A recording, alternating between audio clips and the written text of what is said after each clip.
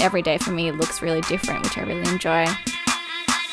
In front of camera, often I'm modeling, whether that's being photographed by somebody. Behind camera, I guess I'm a photographer slash stylist. I think today creatives really need to be multifaceted and not limit themselves to one label or one phrase.